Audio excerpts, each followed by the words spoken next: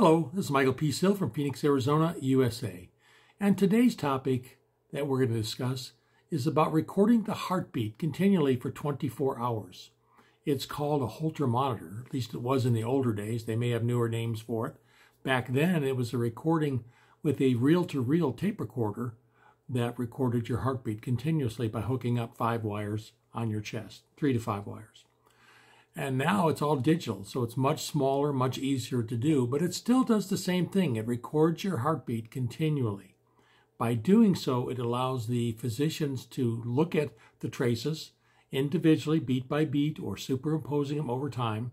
But the key factor of this is that you, the patient carrying this Holter monitor, can actually notify the doctor when you're feeling any symptoms that you've been complaining about. Maybe chest pain, shortness of breath, fatigue, whatever you can actually mark that tape at that point when you're having, let's say, maybe you're racing hard or skipped beats in your heart.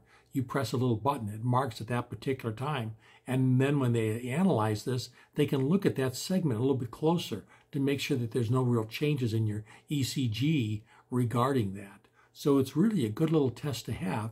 It's non invasive. You just hook up some wires on the chest, tape some little electrodes on there, give you a little box to walk around with, and off you go for 24 hours and it records it.